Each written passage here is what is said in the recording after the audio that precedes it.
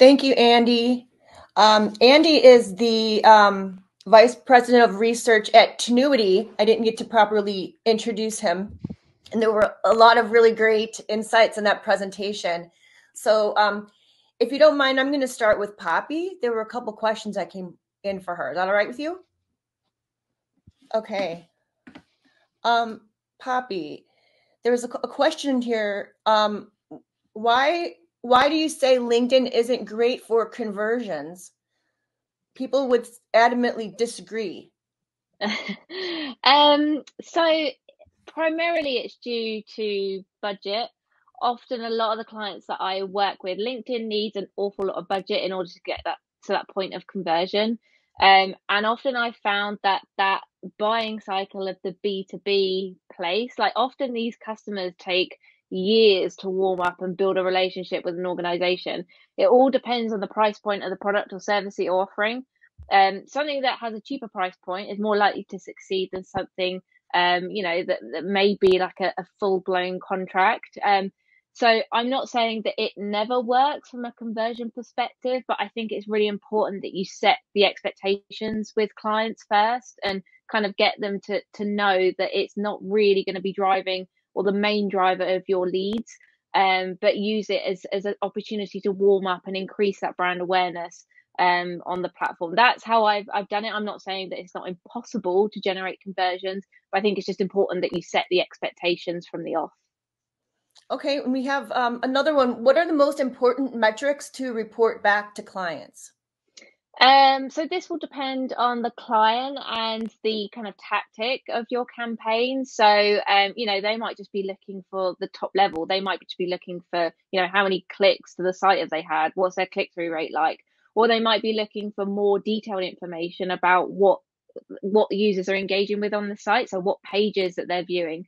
Um, it all will really depend on the client and also what that marketing goal is as well. What's that one primary metric that you've kind of said that will be your driving force? So it will really vary client on client. Some love all the data and the insights and as much as possible. Others will just want top level. How many clicks? How much have I spent this week? Um, and yeah, it will just depend on that client. So um, yeah, there's no right or wrong answer. Um, but yeah, there's just a few bits to be aware of. Okay. So um moving moving on to Andy, um what were you most surprised about in um paid search in Q4? Um I think so we we still expected, you know, the key periods like Black Friday and Cyber Monday to be a big a big driver because again, you know, folks are so cost conscious heading into the season. But uh, I think what uh, was surprising was the extent to which it outperformed other periods. Um, you know, we really saw really muted growth in, in terms of the, the periods before and after the, that core Cyber 5 stretch. So I think the extent to which it outpaced, um, you know, those other periods um, was was a bit surprising. Now, obviously, this is certainly going to vary brand to brand since different advertisers run different promotional activities um, at different times. But um, yeah, I, I, would say that was probably the most surprising. Is just the extent to which it outpaced, because you know, again, we thought it would be a big period, but not not to the level that we ended up seeing. Were th- were there any um, any specific um, verticals that jumped out at you?